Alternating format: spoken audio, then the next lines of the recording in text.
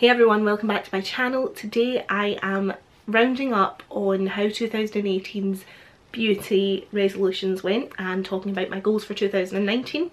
I'm aware it's February, a little bit late doing this but better late than never. In 2018 I went on a year-long spending ban. I managed that with the exception of times that I went on a holiday which I said at the start if I was on holiday I was able to buy things.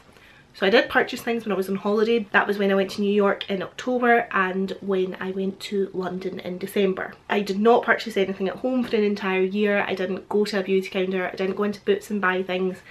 I just went cold turkey on it. And that worked for me. I know it probably seemed quite extreme for a lot of people, but that really worked for me and I have still right now got things that I haven't filled that are in bags from when I was shopping that I haven't even started using yet so I have no need to shop again anytime soon. So 2019 is going to be a continuation of my spending ban. Complete beauty spending ban, only exceptions are holidays. So again, I'm going to Florida in March. Don't really think it'll be a thing because my spending ban finished on the 15th of December, that was my year. And I knew I was going to start this again in January and I said I'm going to give myself those two weeks and if there's a couple of things I want I'm going to let myself get them and I didn't um, I had the I was saying I was allowed to do it and I didn't do it I didn't want to shop there was nothing I needed so I am going to let myself buy things when I go to Florida in March if I need them or I want them. It's not about need, it's about want. But I don't foresee it being a huge haul or anything like that and then I'm not going to be buying anything at home. The only other exception to that is that I will, the, is that this year I will allow myself to replace products if I have genuinely completely run out of them. I don't think there's going to be a lot of categories this is going to happen happening. Off the top of my head um, I think I'll finish I'm on my last Essence I think. So I think I'll probably need to replace Essence at some point this year. My green corrector I only have one green corrector and I think that will need replaced at some point this year. And the other thing is serums which I'm going to do a beauty inventory video so stay tuned that'll be coming. Um, but what you'll see in that is that I have quite a lot of serums but within that within that there's maybe serums that do different jobs so I might finish up a vitamin C serum and then I might have you know four hydrating serums left or something but none of them have vitamin C in them so I could buy a vitamin C serum. Yeah a replacement only no buy basically is what I'm going on but I don't think there'll be a lot of things to replace. That is the core plan it's basically still no more spending but this year a little bit more relaxed in that I can replace things if I have genuinely run out of them but it has to be like I have finished that and I have no equivalent product not just I have finished the one that I like and don't want to use the other one. Probably that's actually how most people shop. They don't actually call it a replacement only no buy, they just only buy things when they need them. And I don't think, I don't know, maybe that could be me in the long run, I don't know. I'm still excited by beauty, that's the thing, but I feel like definitely there's been a huge shift in my way that I look at it and that I'm excited to do things with it, whereas before I was just like, just bought things but I didn't use them. So yeah, my whole relationship with beauty products has changed. I'm still excited by them so I don't know if I'll ever be somebody who's like, oh I only buy this when I completely run out. Like I think in the future I will probably, you know, I'll see new releases and be excited by them and buy them but hopefully with a much better outlook.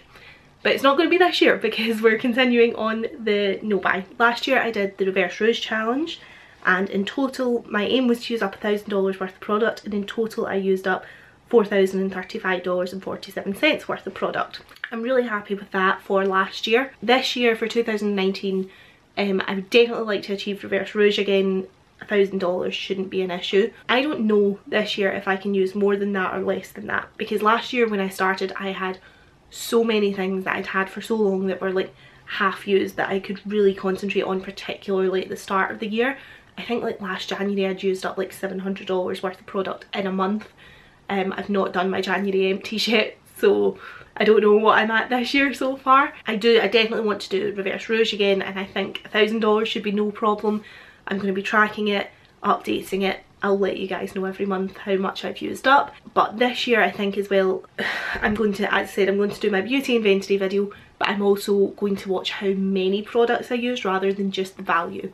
Um, the thing is the value is just an indicator, it's just a way of using a goal um, and I know off the top of my head for example this month or in January I used up two serums that are worth $200 because the full size of this serum is 30 mils and it's worth $600 and these little deluxe sample sizes that I had were 5 mils each. So these were like tiny little samples that were just monetary value wise worth a lot of money. What I want to track this year is how many products that I finish as well as the value of them. Last year I did a project pan, I will film my finale for that. What I would say I learned is that project panning is not for me. I feel like a lot of my makeup collection went completely unused last year because I felt like I had to concentrate on my project pan items. This year what I'm going to do is introduce a new series. So what I've been doing through January is when I've used a colour product, by which I mean a blush, eyeshadow or lipstick, I've been putting it in this box. And then at the end of the month I can look in and be like this is all the makeup that I used not base products and things because they're not as much of a problem. Um, but I can look at it and be like this is what I used.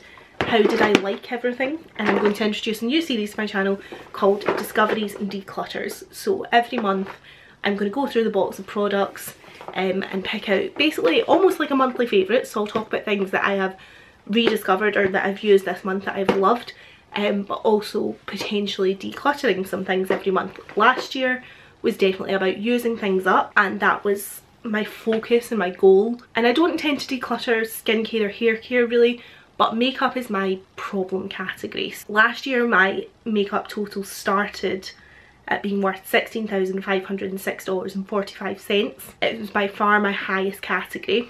It was the one I used up the least in because you don't really finish makeup products the same way you can finish like hair products or skincare products and in 2019 with my additions bearing in mind I didn't shop very much this was just from things I had already bought that I hadn't added to my inventory when I started it last year. My 2019 starting total for makeup is $17,441.07. The thing is, I think last year, like, I was so new to thinking about finishing things because it wasn't really that had never been a goal for me before to finish things and to use things I just I had always enjoyed makeup and whatever I think I was maybe a little bit naive in that I think I thought oh well I'll get I'll get through it all eventually.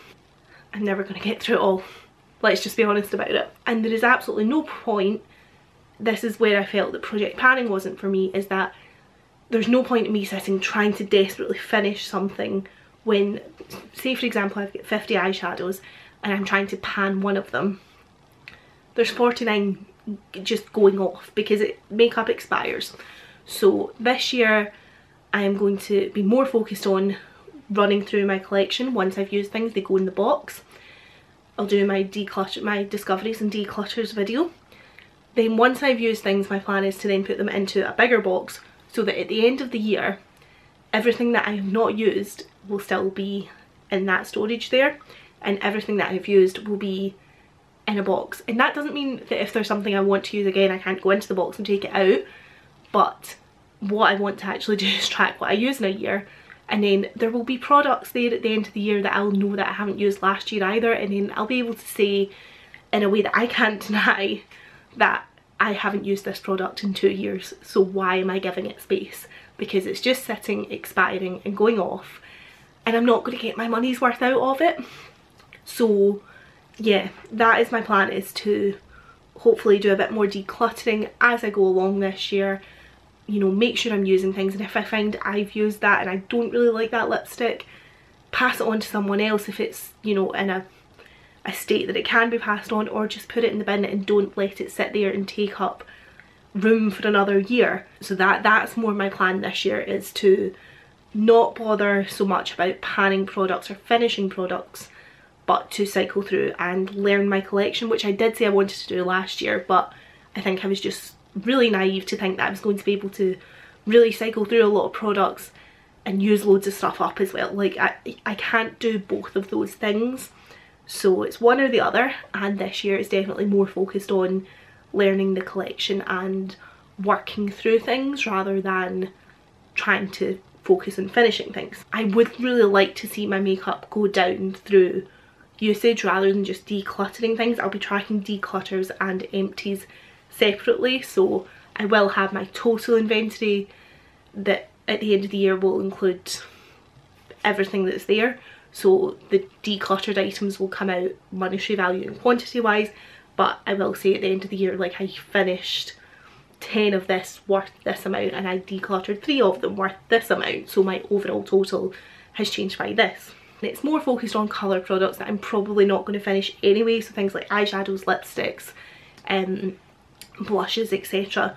I'm probably not going to finish an eyeshadow palette this well I'm, not, I'm definitely not going to finish an eyeshadow palette this year so that's fine but I would quite still like to use up like base products so like I would like to use up a couple of primers, couple of foundations, couple of concealers I would like to finish up those products so they're not going in the box. I will still talk about them if I use something that I love um, you know I'll still put it in discoveries and declutters as like I used this this month and I loved it and it was like a favourite as such um, but that's not what I'm saying is I should still be able to use stuff up but also the focus is not going to be on panning any particular products. So this video is probably long enough. I'm going to film a beauty inventory video so that'll probably be the next one up or up not very long after that because I'm going to film it right now back to back. So yeah, thank you very much for watching this and I will speak to you in my next video. Bye!